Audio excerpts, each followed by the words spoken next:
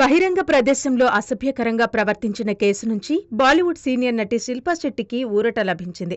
రెండు వేల ఏడులో రాజస్థాన్లో ఏర్పాటు చేసిన ఎయిడ్స్ ప్రచార కార్యక్రమం సందర్భంగా హాలీవుడ్ నటుడు రిచర్డ్ గెరే శిల్పా శెట్టిని వేదికపైనే కౌగిలించుకోవడం ఆ తర్వాత వరుస ముద్దులు ఇవ్వడం తెలిసిందే. ఆ సమయంలో శిల్పా శెట్టి వద్దంటున్నా గెరే రెచ్చిపోయి ఆ పని చేసినట్టు వీడియో చూస్తే తెలుస్తోంది.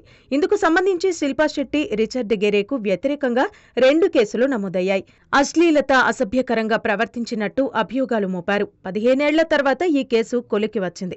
తొలుత రాజస్థాన్లో నమోదైన కేసులను శిల్పాశెట్టి అభ్యర్థనపై ముంబై మెట్రోపాలిటన్ కోర్టుకు బదిలీ చేసేందుకు లోగడ సుప్రీంకోర్టు అనుమతించింది. ఈ వివాదంలో శిల్పాశెట్టిని బాధితురాలిగా మెట్రోపాలిటన్ మెజిస్ట్రేట్ కేతకి చవాన్ అభివర్ణించారు.